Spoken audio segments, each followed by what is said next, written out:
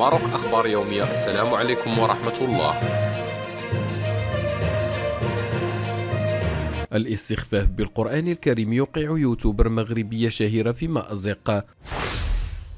أوقع الاستخفاف بالدين الإسلامي اليوتيوبر المغربية الشهيرة بميم الناعمة في مأزق وظهرت ميم الناعمة في مقطع فيديو. وهي تستهزئ بالقرآن الكريم وأثارت اليوتيوبر المغربية المثيرة للجدل غضب المغاربة من جديد بتطاولها على كلام الله. ويرى عدد من النشطاء على مواقع التواصل الاجتماعي أن ما أقدمت عليه الملقبة بموي ناعمة فيه مس وخدش لمشاعر المسلمين. كما شددوا على أن المعنية بالأمر تجرأت بفعلها وحرفت القرآن أمام الملأ.